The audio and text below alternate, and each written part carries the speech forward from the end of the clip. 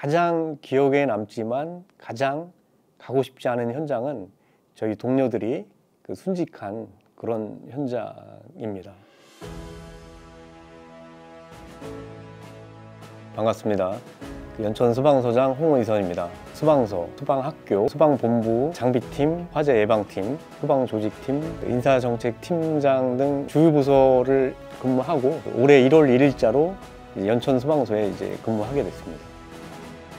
한 개의 구조대, 다섯 개의 119 안전센터, 두 개의 지역대가 그 연천 지역의 안전을 책임지고 있습니다.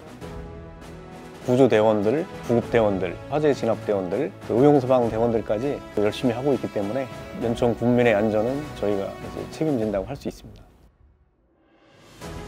충전소들이 많이 설치되고 있습니다. 그 저희가 가장 이제 위험하다고 생각하는 부분이고요.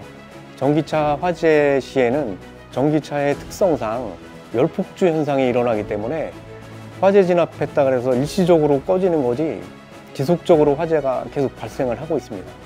그래서 전기차 충전할 때는 만충이 100% 되지 않도록 하는 게 중요하고요.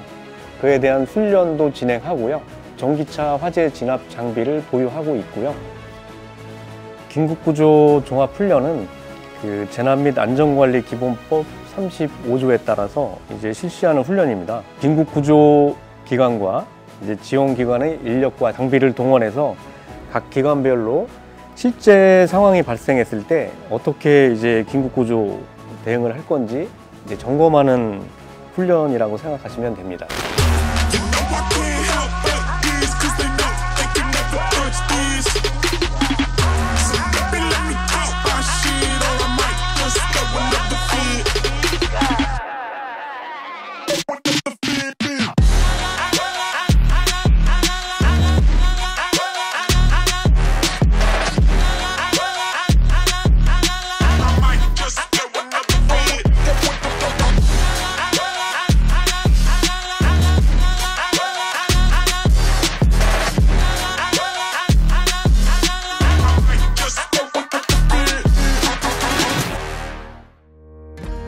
저희 연천 소방서에 오시면 허원 기념관이 있습니다.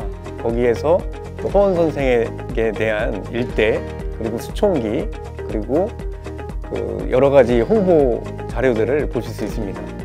실제 수총기와 똑같이 이제 재현을 한 겁니다. 여기에 보시면 손잡이라든가 못질 행거라든가 이렇게 그 펌프가 움직이는 모형이라든가 이렇게 여러 가지를 해서 진짜 실제와 똑같이 디테일하게 만들었습니다.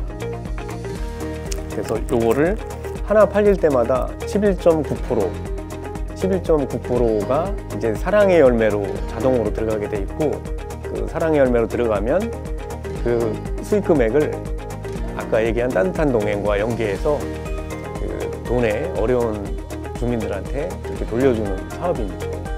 30만 년 전 아슐리안 주먹도끼 전국에 있습니다. 그리고 300년 전 허원 선생님의 수총기 좀 어울리지 않습니다. 연천수방소는 24시간 연천 국민의 안전을 위하여 항상 출동 대기 중에 있습니다. 연천수방소 파이팅! 연천수방소 꼭 방문 한번 해주세요.